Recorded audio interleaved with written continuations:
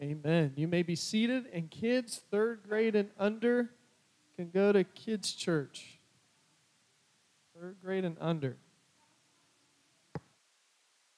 If you notice these teal color shirts from the kids, they just got back from kids' camp, those that were able to go and had a good time. Leah, would you turn up the lights, honey? Thank you. We have lots of great things happening. As Pastor Sean said, we have a, a, hopefully a short, just informational meeting after the service, kind of on our findings of the special committee that you appointed to look at different Wesleyan Arminian denominations. And uh, so we'll, we'll, have that meeting after the service. But come back uh, around 5 tonight, bring a, a potluck dish and enjoy a Christian concert and fellowship. This event is meant to just bring you together and, uh, and worship the Lord. If if you're a woman and you want to get more involved in women's ministry, there's a, a cookout at Sherry Collins' house tomorrow. Um, at pool, you can bring your grandkids. I think that's what the slide said. That may be dangerous if Eileen brings all her grandkids. Uh, but, uh, but go and, and, be a part of that. Lots of good things happening, guys. And uh, God is really blessing us in this season. It's nice to, to be busy in July. And then in 29th of, of this month, we're going to be at Granville Park and so it's a, we're going to have a boat race the kids are making. We're going to have a, a, kind of a voting contest on the best dessert. And um, more information coming to you guys on that. But uh, look forward to that. That's a, that's a good thing for our church. It's in the community. It's a great time to invite friends and family, neighbors, co workers, and say, hey, we got this church event. Come join us. And uh, look forward to that. If you have your Bibles, you can turn to 1 Samuel chapter 23. Just to catch you up to speed, God anointed a nothing, nobody shepherd boy to be the next king of Israel. And he defeated Goliath, the Philistine champion, because when he looked at Goliath, he just saw a bear or a lion that was attacking his sheep. And he said, I got this. The Lord's help, I can do anything. So he's been elevated uh, into being a prince in the palace as he meet, marries the king's daughter. He's in charge of a thousand men. He becomes best friends with the king's son. Everything seems fine and dandy, except King Saul, who's the first king of Israel, gets jealous of David, tries to kill him multiple times, and David has to flee for his life, living in caves. Yeah. We all want God to anoint us for great things, but we don't want David's full journey, do we? I think most of us would like to just cut out this section. After Goliath, and then when he becomes actually king, that would be better, right? But that's not how his story goes, and that's typically not how our story goes either.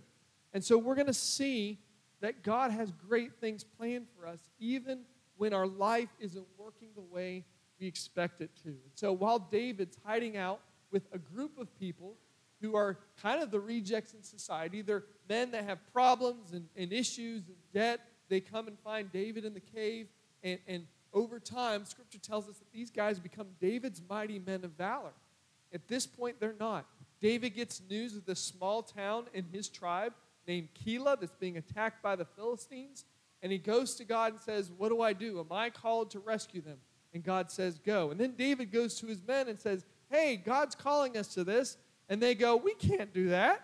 We got enough trouble in our backyard. We're not going to take on an army. Saul's definitely going to hear about this. This isn't a good idea. So, what does David do? Does he listen to God or does he listen to his men? Well, he goes back to God, brings these questions and concerns, and says, God says, Go, I'm going to provide the victory. So they deliver the city of Keilah, and after they do so, Saul finds out and decides, I'm going to put this city under siege. So David once again goes to God and says, What do I do? Do I leave? Do I go? Will the people betray me and turn me into Saul? And God says, Saul will come and the people will betray you. And we talked about how, you know, that kind of stirs anger inside of us, right? If you lay down your life to rescue somebody else, you'd expect them to be willing to do the same for you. But we saw that these are not David's sheep. They're Saul's sheep that he rescued. And so he has to give them back to God. And it's not about us, it's never about us, it's about the calling. And people are worth the sacrifice, people are worth the risk. And so David leaves Keilah, and Saul doesn't attack Keilah. And we talked about because that city wasn't wiped out, what kind of prophets, What kind of future generations came from that town because of David's gracious attitude toward them? And, and somebody in this room may be a descendant of someone from that city great long ago. We just don't know. And, uh, and so we have to keep that perspective. Well, we're, we're picking up in 1 Samuel chapter 23, verses 13 through, uh, we're going to read through verse 18. But I, I don't want us to overlook these chapters. And I'll tell you, as, as a pastor writing sermons, you know, it's much easier to write the, the good, happy, uplifting, um, easy messages, right? The ones that everybody wants to hear. And, uh, but that's not what we're called to do because it's so often that the greatest growth happens in our most challenging moments. And we'll see that this morning. So David and his men, about 600 of them now, left Keilah and began roaming the countryside. Word soon reached Saul that David had escaped, so he didn't go to the Keilah after all. Now David stayed in the strongholds of the wilderness in the hill country of Ziph. Saul hunted him day after day, but God didn't let Saul find him. One day near Horesh, David received the news that Saul was on the way to Ziph to search for him and kill him. Jonathan went to find David and encouraged him to stay strong in his faith in God. Don't be afraid. Jonathan reassured him, My father will never find you. You're going to be the king of Israel, and I will be next to you, as my father Saul is well aware. So the two of them renewed their solemn pact before the Lord. Then Jonathan returned home while David stayed at Horesh. So we read about these specific places in this passage, and they don't mean anything to us. I mean, Ziph, Horesh, like, okay, whatever. We don't live in Israel. We are not from the tribe of Judah. Uh, so let me try to give you a proper context here. David, having been a shepherd, would have known the Judean countryside very well because Judah is not like West Virginia. We're almost like a tropical rainforest here, right? There, you have to go long distances to find food and water for your, for your sheep and goats and cattle. So, so he would have roamed a fair amount of distance. It's much more rugged land. There's rocks everywhere. If rocks were able to be grown in fields, you'd find a lot in Israel, right? That's, that's, that's what's happening. And so when we think about this, David's background in being a shepherd has prepared him for this moment because he knows every nook and cranny and crick and holler that's out there because he's researched it all in his previous life, in his, in his previous calling. And so as we think about these locations in the tribe of Judah, we've got to think it's a distance of about 35 miles from north to south. So it's like Morgantown to, to Clarksburg is about the length of Ju- Judea or Judah, and its width is about 15 miles. So when we read about David fleeing Saul and running from his life with 600 men, we got to realize it's not that big a space. You're not talking about hundreds of miles, you're talking about 10, 15, 20 miles. And Saul has utilized his whole army. It says that his thoughts day and night, his focus day and night is on killing David. Wow. Let me remind you what has David done wrong? That this king this father in law of his thinks nonstop about his murder. He's done nothing wrong. He's loved the Lord with all his heart, soul, mind, and strength. He's been faithful to his father in law, the king. And yet, this is why David has been anointed the next king, because David has a self giving heart. But Saul is disobedient to the Lord. He does what he wants to do and he has a fearful approach where even his greatest allies becomes his enemy. And so many times, guys, we suffer in life because of our own choices, but this is a scenario where David is suffering because of the placement where God has put him because of Saul's sin. David is suffering because of Saul, but it's not outside of God's calling for David. David is being called up because Saul is this way. And so you if if I were David or you were David, you may be like, could you have called someone else? Why me?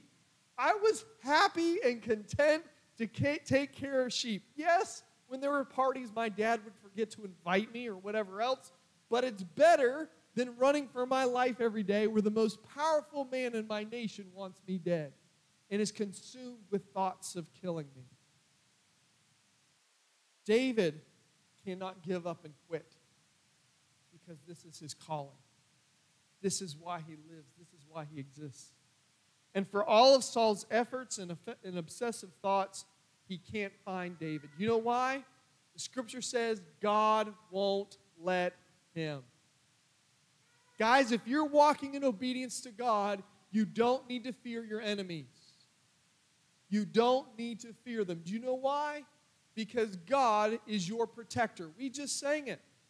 I hear your SOS. I hear your calls for help, and I will protect you. Now, does that mean you'll never have confrontations? No. But that means the confrontations you do have, God allows. And so that, that changes your whole perspective. We cannot live in perpetual fear. Now, that doesn't mean that David took nice long strolls right out in the open for everybody to see. Doesn't mean he, he had Render the Hearts come to Judea and, and put on a concert and send out flyers. Hey, David's going to. No, he didn't do that. He did have to be wise and all the rest, but he had to keep a heart and an attitude that my God has called me to this, and he's going to protect me. He's going to fulfill that calling. In the same way, God will enable those that will encourage us and stand with us to find us. 600 men found David. And Saul, with his vast army, can't put a finger on him. How does that happen? Three letters G O D. God. And, and all of a sudden, Jonathan's like, you know what? Dad's getting kind of close to David, and I haven't seen David in a while. I'm just going to pick up and find him and go encourage him. It doesn't say that, that Jonathan had a tough road to hoe to find David. He just goes out and finds him. He just goes out. So listen, you know what that tells me? That can encourage you and stand by you, God will make readily available when you need it. When you need it. And I am sure that David grew tired of this ordeal because no one wants to be mislabeled. No one wants to be marginalized or run over. And for me, I even think of his underutilization. I, if I were David, I'd be like, God, you know my heart. You know my giftings. You know my calling. You know my passion. Why am I still hiding out in caves? I want to conquer your foe. I want to stand for truth. Why am I eating bugs? Why am I here? That may be you as well. I just love you, Lord. I just want to serve you. Why am I in this spot right now when I could be doing so much more for you? Oh. What David might not realize, or what we often forget, is God's glory is most clearly seen in us through conflict as our faith in Him shines through the hardship. The Bible's full of it. You've got the 10 plagues of Egypt, you've got the crossing of the Red Sea, you got the seven day worship service around the walls of Jericho. You have Daniel in the lion's den. You got uh, Hananiah, Mishael, and Azariah in the fiery furnace. I mean, what would the Bible be if it didn't have those moments? What if the Bible just had these flowery, happy moments with no conflict? That the gospel just went out and the emperor gave Paul roses. No. That's not the gospel. That's not what we see in Scripture. It's in these moments when the enemy draws near, when there's conflict, where there's difficulty, that the glory of the Lord shines through and brings transformation. And so, why does Jonathan go to David? He knows he's at a tough spot. He knows. He knows his best friend. He knows that as strong as he is in his faith, that there's got to become some dark moments. I mean, listen, if you've been in a dark place for a long time, you know the truth, but you don't feel the truth. Amen to that? You can wonder, where is God? Why is he so distant? And Jonathan obeys God, goes to David and says, Listen, I know you're called to be the next king. My dad knows that. Dad will never find you. And I'm going to stand by you when that happens. Let's make a vow once again before the Lord in faith. David needed that. There was nobody, because Jonathan was outside of his current situation. Jonathan was from the palace, stepping into a situation. But you know what didn't happen? Jonathan didn't bring his tent with him. Jonathan didn't say, Okay, David, I'm going to join you in the cave. You know what Jonathan did? He went back to the palace. That's tough. When sometimes those that are closest to us, that know us best, that are our best encouragers, do encourage us, but they don't stick around. Why didn't he stick around? Well, his calling was to be a voice of reason in his father's ear if he was willing to listen. And have you ever wondered how did the nation of Israel function while Saul is running around trying to kill David? Who's really leading the people? My bet was it was Jonathan. Jonathan was taking care of the issues. Jonathan was putting out the fires. Jonathan was taking care of the day to day, thanklessly. Jonathan is the unsung hero of 1 Samuel. And guys, the world runs on unsung heroes that never get recognized or praised, even though they are capable and willing and available. God loves fruit that grows in the shade, and he delights in it himself. That's who Jonathan is in this passage. Verses 19 through 29. But now the men of Ziph went to Saul in Gibeah and betrayed David to him. We know where David is hiding, they said. He's in the strongholds of Horesh on the hill of Hachilah, which is in the southern part of Jeshimon. Come down whenever you're ready, O king, and we will catch him and hand him over to you. Oh, the Lord bless you, Saul said. At last, someone is concerned about me. Go and check again to be sure of where he is staying and who has seen him there, for I know that he is very crafty. Discover his hiding places and come back when you're sure then I'll go with you. And if he's in the area at all, I'll track him down, even if I have to search every hiding place in Judah. So the men of Ziph returned home ahead of Saul.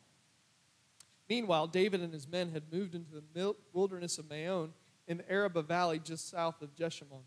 When David heard that Saul and his men were searching for him, he went even farther into the wilderness to the great rock, and he remained there in the wilderness of Maon. But Saul kept after him in the wilderness. Saul and David were now on opposite sides of a mountain.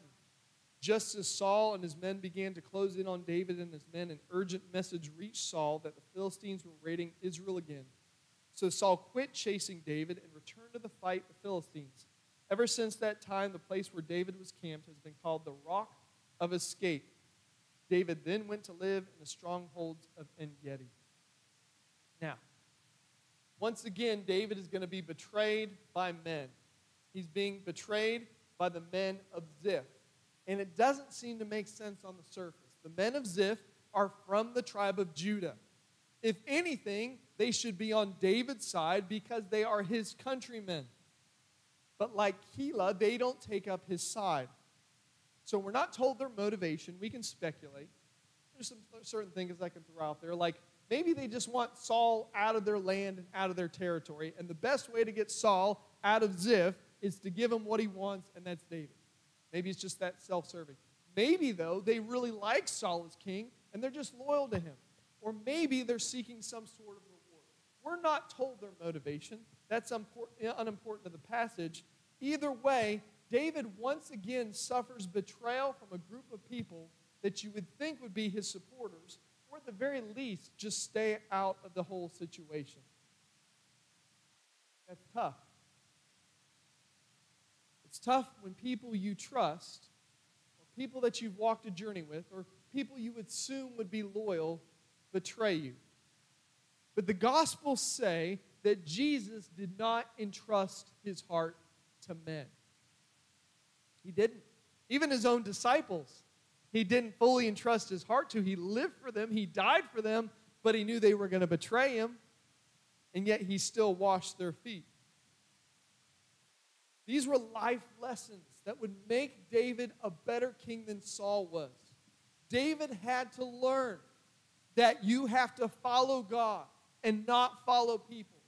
You have to pursue God whether people like it or not. You've got to choose to do the right thing no matter how you're received. It would be easy after David has been betrayed now a second time for him to get angry and defensive and, and let that change his character and become hardened.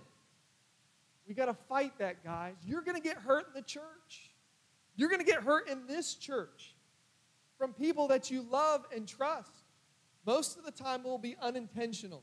Sometimes it might be intentional. But you've got to fix your eyes on Jesus and love and pursue him no matter what. What David is learning is that no one should live to attain the approval of other people. Man, it's hard to live to make other people happy. Anybody tried it? Oh yeah. Parents, stop trying to live to make your kids happy. It's not going to work. It's not going to work. Kids are fickle. Adults are fickle. Have you ever tried to make everybody happy all the time? It is absolutely impossible. And if that's been your life, I feel really sorry for you because today you're going to hear freedom, but up until now you've been suffering needlessly. You cannot make people help happy. Everybody without Jesus is self seeking. Most people are loyal to you as long as it benefits them.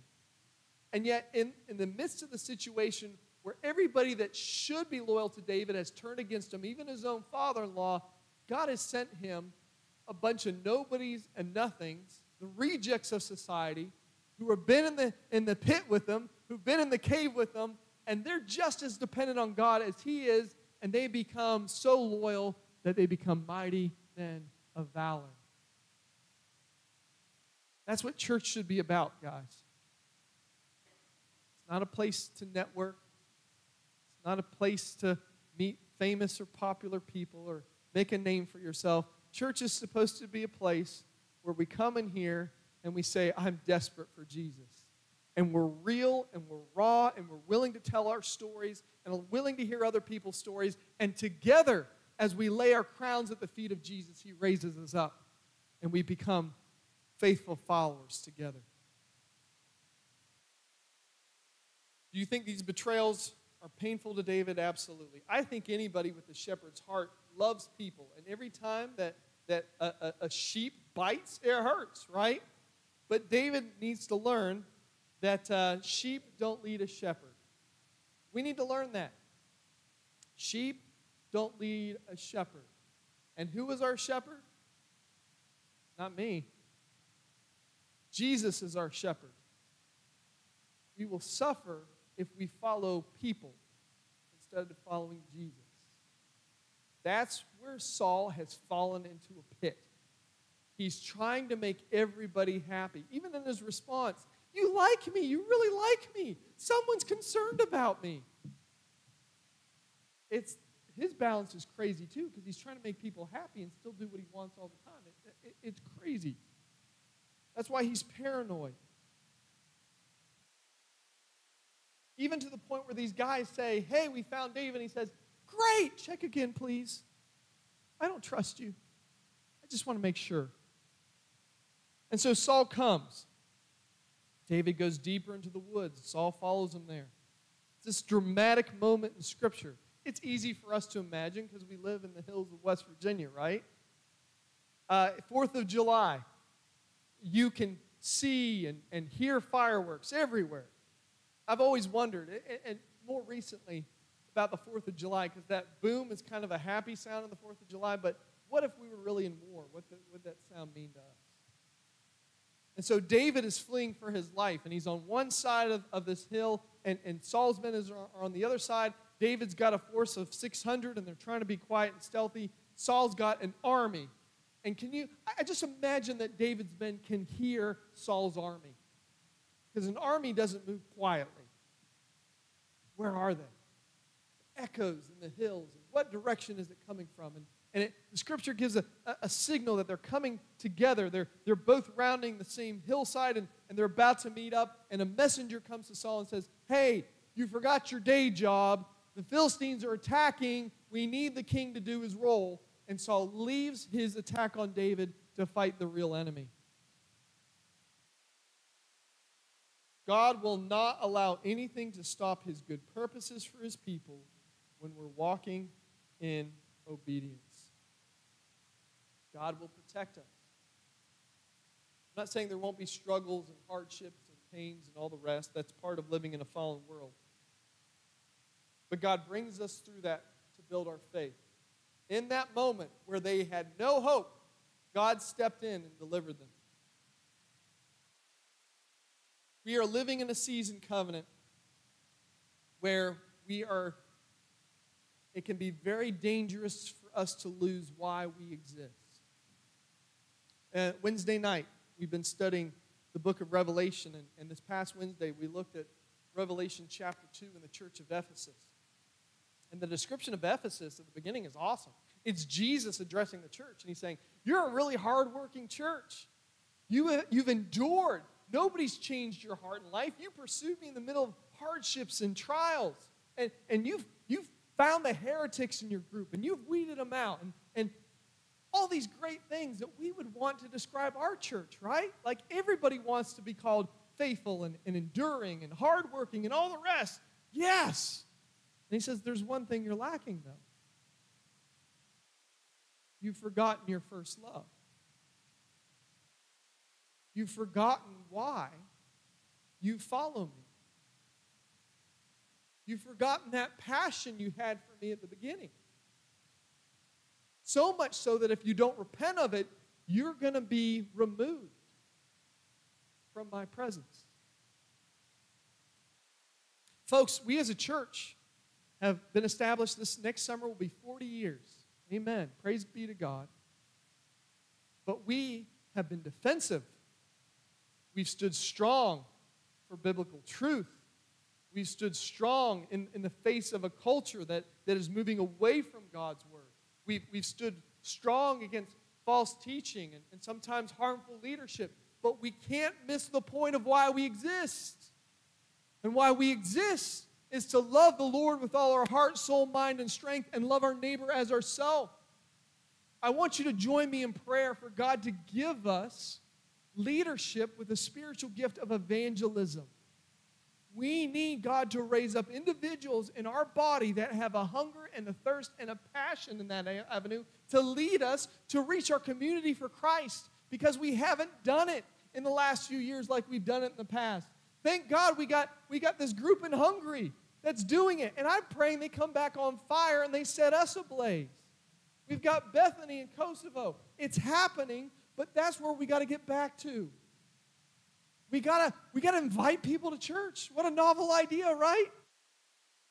Family, come be a part of what God's doing here. I, I, I had a conversation with an individual. I was like, my thing as a pastor is I don't want to steal sheep from other churches. That's not in my heart.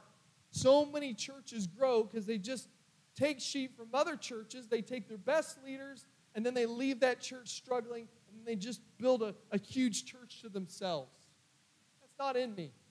But this person replied back, he said, Well, what about people who are in churches that aren't getting fed and don't have the truth and don't know the word, and we have it here? Should we not invite them? He had a point. But I want us to reach the lost.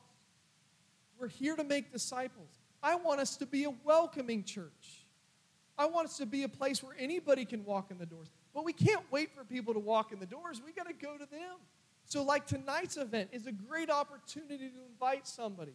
What's happening on the 29th is a great opportunity to invite somebody. We've got, what, two more nights of VBS? Get your neighbor kids out, get your grandkids, get your nephews, get your nieces. This is life. And I don't know about you, but I want to renew that hunger and passion for the simplicity of sharing the good news and living it together. I remember when I was dating my wife, I couldn't wait to get off work and drive out and pick her up and walk around downtown. We had, I had no money, I couldn't take her anywhere. I would write her poems. And each poem was numbered. And each poem was numbered by how many days since I had known her. So there was 44, there was 65. Before our wedding day, I had a list of 100 reasons why I was going to keep myself for her until our wedding day, and I posted it above my bed. I had hearts all around my house, numbered, counting down the days until we were married. Man, I was in love. I still love my wife. It's purer now than it was then. But I don't do those same things for her that I did then because I've taken it for granted. Because I'm content in what I have. And I, I don't even acknowledge the blessing that I have in her.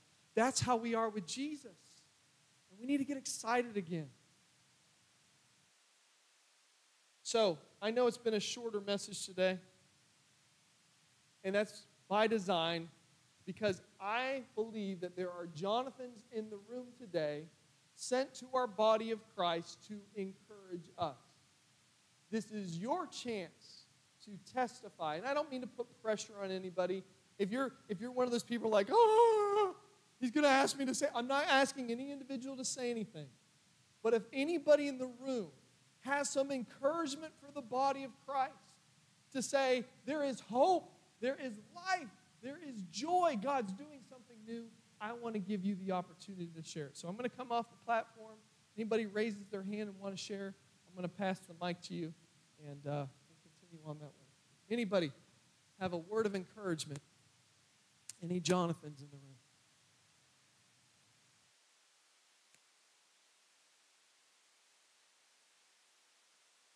Anna.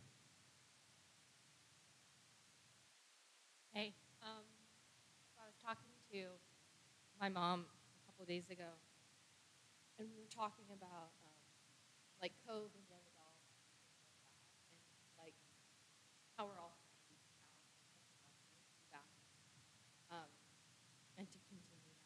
And, and I was saying to her like it's because you chose, like you and Dad chose, to be friends with, with all of my friends, friends, and we chose to like intentionally have community with each other, um, and, like choose to live life together. So, just for all of you like young parents um, or parents of young kids, like choose to live life with other parents, um, and you'll see the fruit of that, and you'll get to be.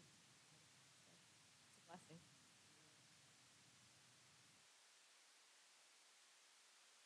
Anybody else? I knew I could count on you, Chester. I've been praying uh, at my house almost a month. Day I went out on the deck. I've been re, uh, uh, looking through my Bible. My brother got me a whole tape of Bible tape, and every morning go outside and tape in, three scriptures, you know, in the Bible, and it been touched my heart. And what I hear on all the tape, I've been praying. Bible, a good thing to read, and get know the Bible, and trust God in your heart all the people you've been praying for each day in the church. I've been through, I've been praying for all countries, for uh, president, and people get ready, running for the president. We need to get our country back in shape what did, you know, good, good, you know, good way now. Go, um, our government people up in Capitol, you know. And uh, every time you turn on TV, radio, someone got killed, someone called him. Some way, in God's help, I hope stop and stuff. You know, I worry about our kids, junior high kids, high school, grade kids. You know what will happen sometime. Can walk in the door right now, you know, and uh, we need more car walk over our kids. Thank you. Yes. God can bring change, but we don't live in fear, right? That's what the message was, God. is going to lead us and guide us. Anybody else?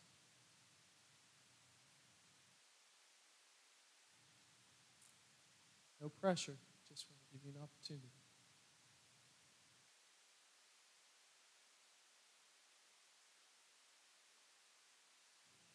Yeah.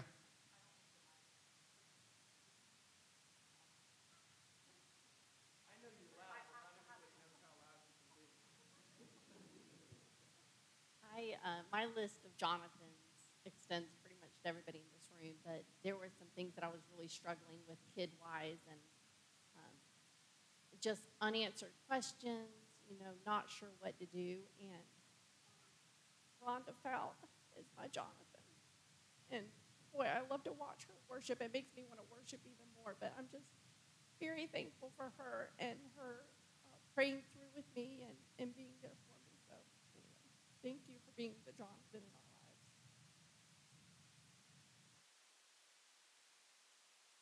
Anybody else?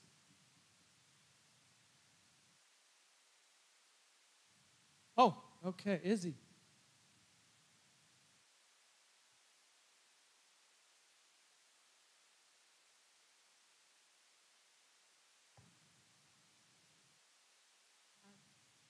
I'm not good at this, but I have to say that when I was sitting here thinking and thinking, I've been through a lot in this church. I've been here since 1996, and I've seen a lot. But I'm going to tell you, our church is really great with all these young people and all these babies. Uh, and Pastor, you talk about shepherds. We've got the best shepherds, and I've been through a lot of pastors too, by the way. but anyway, we've got the best uh, shepherds. And uh, another thing, too, is whenever uh, Pastor Danny passed away, I've never been through a pastor, I mean, pastor's dad died, and I felt that about that. And but anyway, our church is great. I see it growing spiritually. Not so much. I see it coming that way too. But our church is really Christian. And another thing, our worship team. Thank you so much. I tell you, we have brought such. Oh, I. It's just wonderful. It's just wonderful. Our worship team is just great. We're growing and we're. We love you. Anybody else? Tina? I just wanted to give everyone a word of encouragement. Uh, I've been praying and studying and reading the Word, and uh, there's a lot of warfare going on, you know, in our lives individually and our country and in the world. And what, studying and listening and learning, I've the solution to that, the way to fight that, is to speak God's Word. Speak it out loud when you read it. Speak it out loud. Read it out loud that's our greatest weapon. And that's what how God wants us to uh, fight against the you know warfare and the evil in the world. That's the that's the solution. So I, I just encourage you to start speaking the word. You know, you don't have to memorize it just because I'm bad with memory. Just open it up and just read it out loud, and declare it, claim it. You know, call it down. So I've been trying to do more of that. So I'm just encouraging the rest of you to maybe try that too. I have another hand. Was that? Oh. Mikey P. That's his rap name that I gave him. Nobody else calls him that. Mikey P. Um, you had the slide up there. I forget exactly what it was, but basically it was something regarding God will always have somebody there to find you, you know. And I, God's definitely done that so many times in my life, and I know there's many times I've seen Him use Jen and I, my kids, in that situation. But um, just been really blown away as of late, you know, with with my kids and uh, the youth and the, uh, young adults. Just uh, how God has always provided so many different people besides my wife and I to pour into our kids. I mean, our, our kids, our kids would probably be a mess if it was just Jen and I. Um, we all have our times, and there's other parents in this church. There's other young adults and youth in this church, and, and God just continues to bring more people. Like Cassidy, you know, at a time when Jen and I needed, you know, to step away from young adult ministry, and, and bringing the Patori in, and and so anyway, just um, you know, with so many of the kids of this church in the mission field this summer. And even just, it, it blows my mind that David and Rachel is on this trip I mean, I was so excited when we heard that they were going of, you know, them ministering together as adults, you know, instead of David and Rachel ministering to them. So, you know, I, I truly do believe that, you know, God will definitely put people in your path, and that's something we should always pray for if we're struggling, and it's something we need to be in an attitude of prayer, constantly looking to see where God can use us to, to plant that seed and come along and be an encourager, um, to be a uh, accountability partner. Um, we need that, and we can be that. Um, you know, I've been going through a lot of tough times with health and this and that, and long hours at work, and you know, um, feeling alone a lot the past, honestly, the several years. But just here recently, there's been an outpouring of, of guys reaching out to me and rekindling um, friendships that you know Jen and I's kind of let go and just been busy with, and excited about our vacation this year. It's just been um, very encouraging for me recently. I want to keep it with the Pumphreys here for a little bit. I ditto on what he said, but I felt like God was leading me to share this this morning. Um, a couple months ago, Mike encouraged me to go away for a weekend by myself. Ladies, go do that, and guys. Um, but we can't always have that weekend away. But um, we can't always just step away from our duties and everything. And I'm trying to figure this out in the middle of a new season of life and busyness right now, so I don't have this down. But God just really re-spoke to me Psalm 23 um, in a fresh and new way. The Lord is my shepherd; I shall not want. He makes me lie down in green pastures. He leads me beside still waters. He restores my soul. And this was my prayer to Him that weekend. Lord, I was so dry. I wanted this weekend so badly, yet I had to be made go away, to set this time aside for you. You have made me to come, and I am so thankful for rest, for renewal, for beauty, for your presence, for your voice, for a fresh infilling. You have restored my soul this weekend. I drew away, and you met me. You have led me all my life in paths of righteousness for your name's sake. I love you, Lord. I just wanted to encourage you to Mike and I are reading through Ruthless Elimination in a hurry, and I know some of you guys are, and um, but just I'm trying to figure it out, but we have to have that time set aside, and He will restore our souls.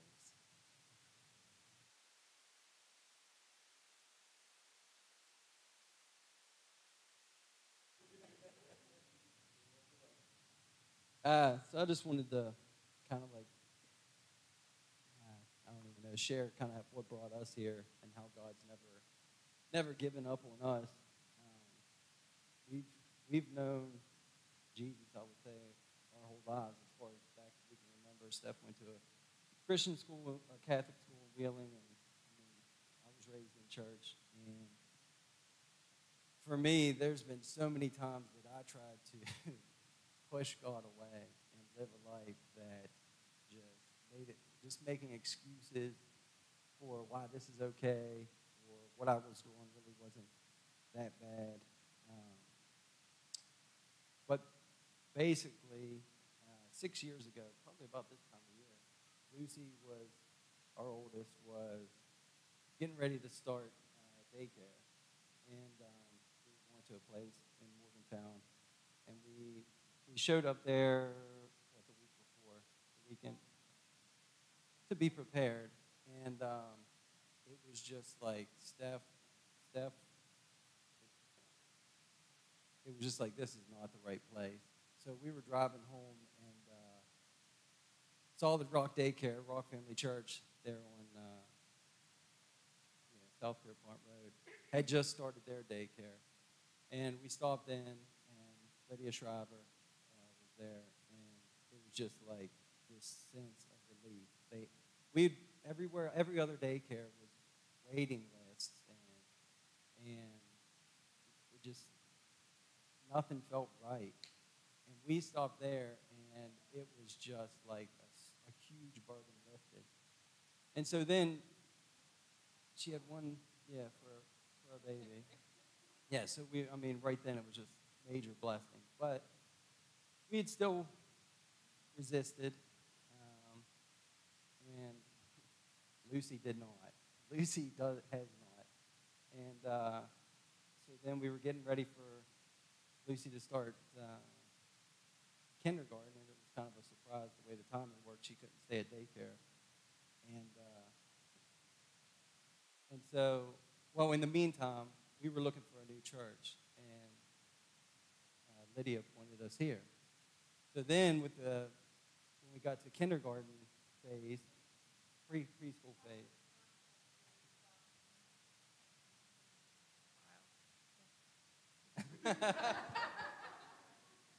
uh, but anyway, yeah. So Pastor Sean had texted uh, Steph just to check in because I think that's when we had went to church here for a little bit and then hadn't been here, and we had just had Cecilia, the second one. Um, and so she, Steph got a hold of Mrs. Whiteman, one spot left, K4. And then COVID and stuff, another excuse not to, you know, be in church and doing what we're supposed to do. And Lucy, again, Daddy, we got to go to church. We need to go to church. I want to go to church. And, you know, after being, coming here, picking her up, I mean, it's just such a, it, it really worked on so we made it back and still coming to church, singing, praising.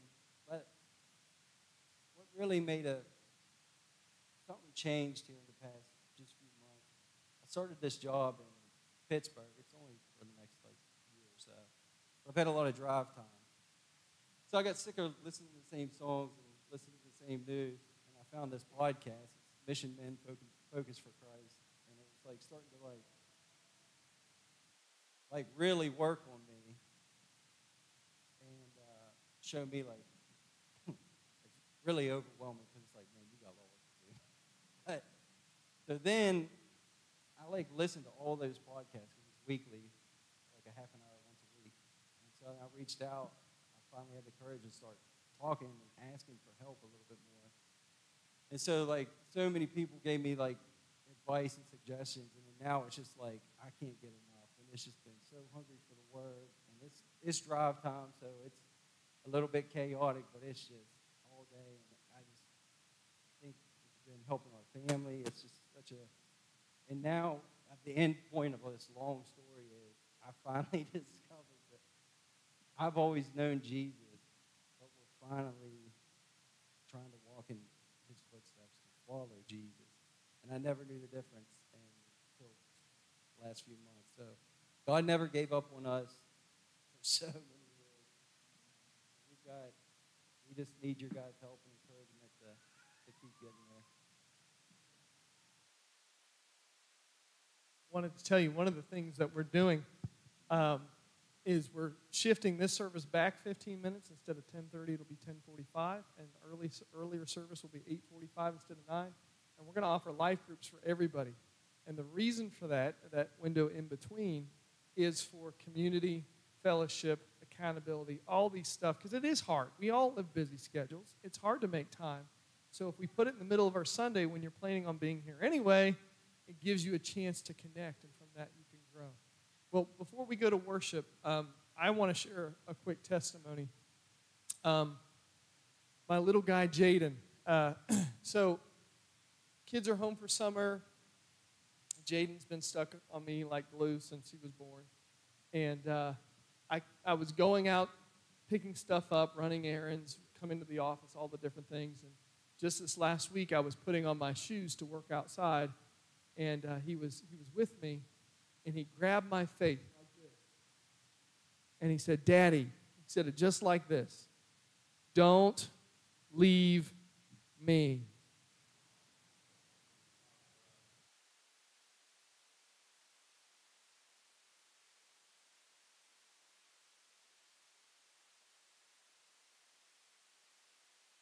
Out of the mouth of babes.